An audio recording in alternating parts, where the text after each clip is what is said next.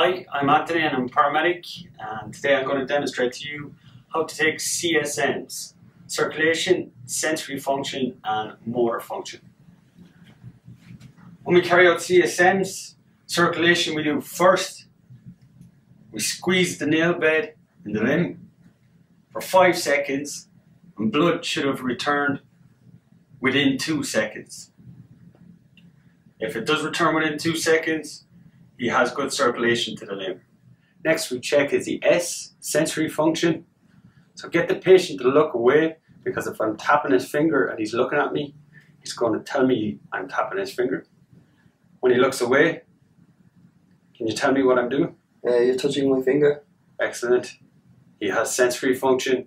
And then to check motor function, you get the patient to move his fingers. Can you move your fingers for me? Patient has motor function.